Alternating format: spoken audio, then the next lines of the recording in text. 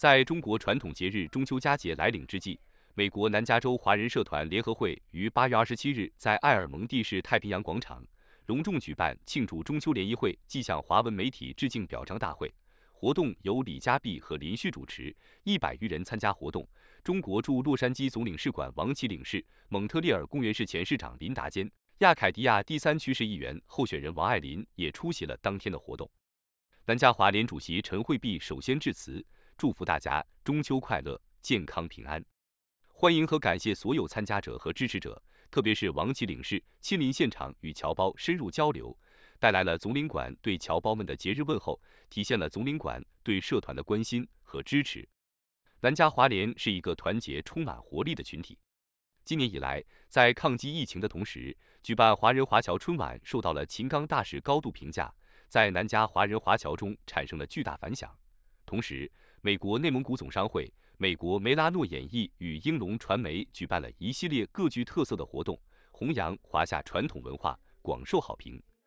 今天，我们南加州华人社团联合会八十几个会员，在我们的常委宣国军，呃，董事长的。这个会所，呃，也也是在我们丽莎陈老师的教室，呃，举办一个就是庆祝中秋的联谊活动。呃，以后呢，我们每一个月都会就是举办走进会员的联谊活动。呃，那么今天我们还有一个主题，就是特别感谢在疫情以来，然后我们的媒体朋友，呃，对我们社区的贡献和对我们所有社区的新闻报道。祝各位中秋愉快！我呢，就是想衷心感谢当地的华文媒体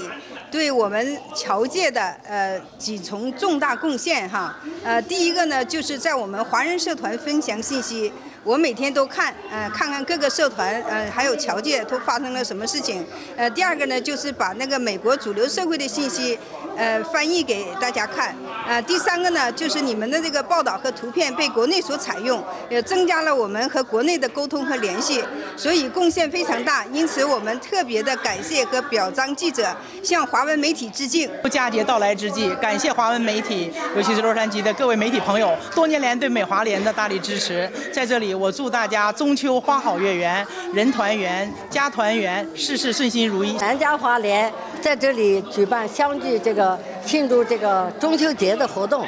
这样我们这个平台就等于说大家是回到我们的老家了，在大家一起欢聚呃这个中秋节。联谊会上，总领馆王琦侨务领事。南加华联荣誉主席张素九、理事长郭颂、共同主席团主席林连练、监事长赵林、蒙特利尔公园前市长林达坚，以及南加华联所属的各大社团代表也纷纷发言。王琦领事在发言中表示：“只要我们心中有祖国和家乡，为中美之间的友好交流合作尽一份力量，就能够达到天涯共此时的境界。”他肯定了南加华联在各个领域做出的突出成绩和贡献。并代表中国驻洛杉矶总领事馆祝各位侨胞中秋节快乐，花好月圆人团圆，也祝八月份的寿星们生日快乐。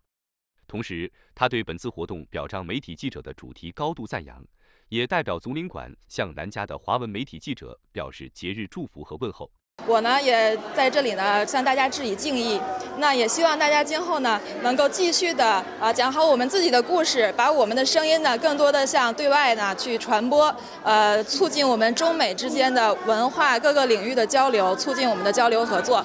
本次活动的主题之一就是向华文媒体致敬和表彰。